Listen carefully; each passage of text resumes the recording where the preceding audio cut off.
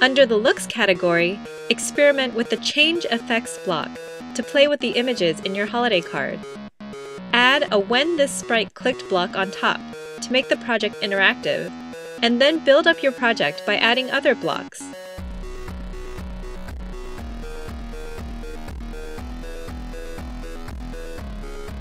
Use the drop-down menu to explore different effects for your card.